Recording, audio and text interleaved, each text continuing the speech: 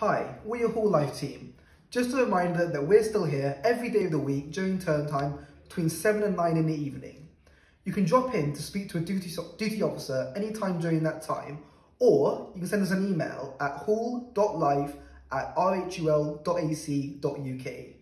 If you need help after hours, you can contact security, which are available 24-7, which is especially important if you call an ambulance so they can direct them to you faster.